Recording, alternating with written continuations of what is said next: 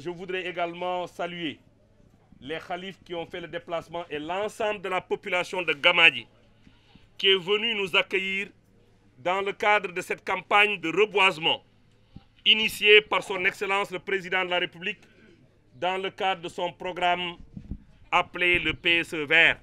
Je pense que le Président de la République nous a donné la voie à suivre. C'est la raison pour laquelle je lance un appel en direction de la population sénégalaise dans son ensemble pour que ce programme soit le programme des Sénégalais. Aujourd'hui, nous sommes confrontés à deux défis. Le premier défi, c'est la, régénération de la, la régénération de nos forêts. Le deuxième défi, c'est la protection de notre patrimoine forestier.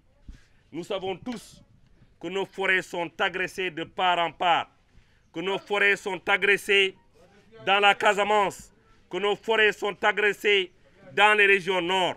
C'est la raison pour laquelle nous allons nous évertuer comme un seul homme pour faire en sorte que le vœu du chef de l'État, qui n'est autre que de rendre le Sénégal vert, soit réalisé.